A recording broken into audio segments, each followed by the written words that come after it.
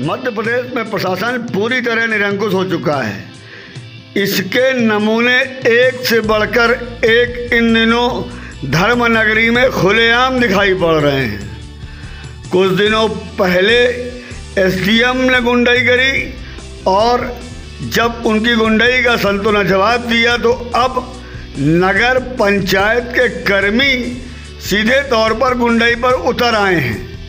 आज दोपहर बाद परिक्रमा मार्ग पर नगर पंचायत के कर्मी प्रभात कुमार ने जो गुंडाई करी, उसे देखकर गरीबों की आत्मा काँप गई। कोरोना काल में पिछले आठ महीने से लोग दाने दाने के लिए मोहताज थे। तब पूर्व सीएमओ ने यहाँ पर बहुत मानवता के कार्य किए थे। उनके चक्कर में यह प्रभात कुमार बहुत दबे, कुचले और सहमे रहते थे। लेकिन उनके ट्रांसफ़र होने के बाद अब यह पूरी तरह से गुंडाई में उतर आए हैं। मकानों में जाकर सीधे लोगों से गुंडाई कर रहे हैं, गरीबों के ठेलों पर जाकर सीधे उनका चालान बना रहे हैं, उनसे चालान के अतिरिक्त शुल्क भी वसूल कर रहे हैं।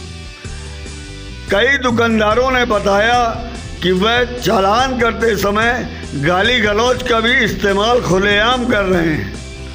आज परिक्रमा मार्ग पर लगभग चार घंटे प्रभात कुमार ने चेकिंग के नाम पर अतिक्रमण साफ़ कराने के नाम पर खुलेआम लोगों के साथ बदसलूकी करी, गुंडई करी और बदतमीजी करी। यह वैसे इनके द्वारा किए जाने वाला कोई पहला मामला नहीं है। इसके पहले भी यह लगातार लोगों के साथ बदतमीजी करते रहे हैं। लोगों को बार बार देखकर बदतमीजी करना इनकी आदत बन चुकी है। जब एक प्रमुख संत के शिष्यों ने उनको ऐसा करने से रोका तो इन्होंने उनके साथ भी बदतमीजी करी और यहाँ तक कह दिया कि हम तुम्हें तो तुम्हें, तुम्हारे गुरु को भी नहीं बख्शेंगे।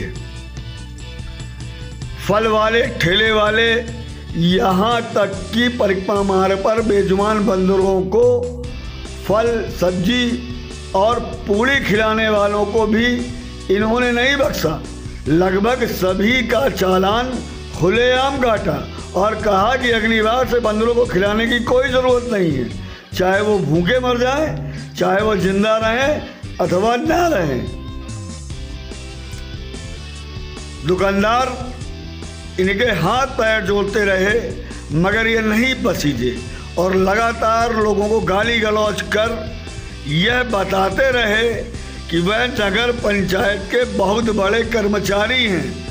अब कर्मचारी से बढ़कर वह अधिकारी बन चुके हैं। इस तरह से उन्होंने अपने कर्मचारियों के साथ घूम घूम कर नगर पंचायत का इलाका बताकर मध्य प्रदेश के क्षेत्र में गरीबों के साथ खुली गुंडई करी। इस दौरान उन्होंने भिखारियों को भी नहीं बख्शा। कुछ लोगों ने जानकारी दी है कि उन्होंने कई भिखारियों को गाली गलौज भी की है।